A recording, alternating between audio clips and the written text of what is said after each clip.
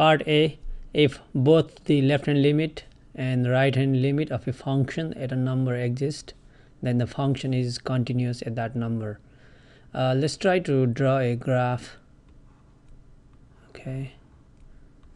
X-axis y-axis.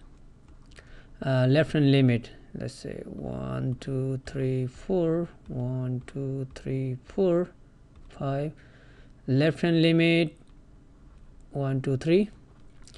For this function the left hand limit limit of this function when x approaches to 3 from left side in our design that's 1 2 3 and the right hand limit let's design when x approaches to 3 from right side uh, let's make it 3 4 5 something like this it's 5 okay? The left hand limit for this function this function is y equals fx. The left hand limit exists with the value 3 the right hand limit at 3 also exists with the value 5 but we clearly have a jump discontinuity so it's false. Okay we have a jump discontinuity.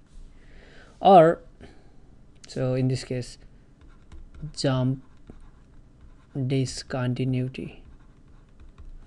Or we can have alternatively we can make a simple graph just straight line one two one two three two or three or any number doesn't matter.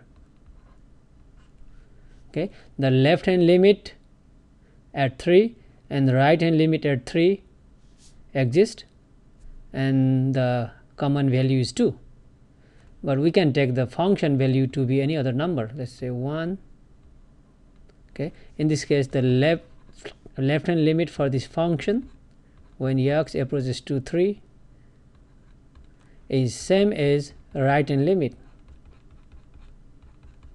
Okay?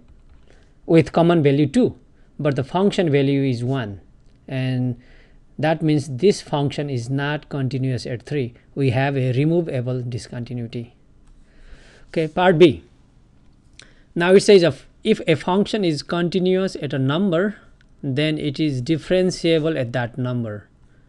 Okay continuity at a number does continuity at a number imply differentiability at that number? No we've seen in section 2.8 when we have a corner point uh, graph of absolute value function modified let's say this one at some point let's say 2 okay this is y equals fx the derivative of this function at 2 does not exist being a corner point.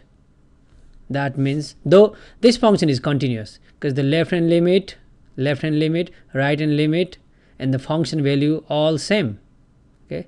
This is continuous but the derivative does not exist being a corner point. So again false part c.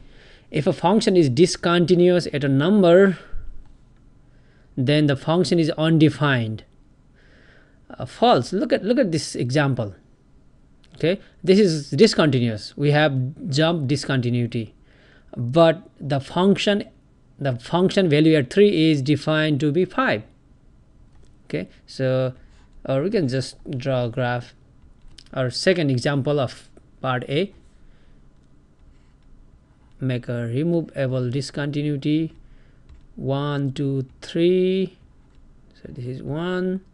Let's put that there. One two.